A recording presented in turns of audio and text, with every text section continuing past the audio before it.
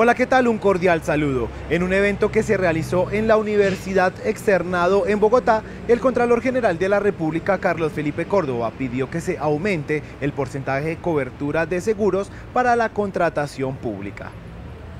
Uno de los problemas más grandes que hay aquí es el aseguramiento que tenemos a estos y cada uno de nuestros contratos públicos. El jefe del organismo de control recomendó que este tema sea estudiado por el gremio asegurador Fasecolda. ¿Cómo es posible que nuestra contratación al día de hoy, grandes obras, no tengan la capacidad de tener buenos seguros que respondan? Y es que con un 10% no vamos a tener cómo responder.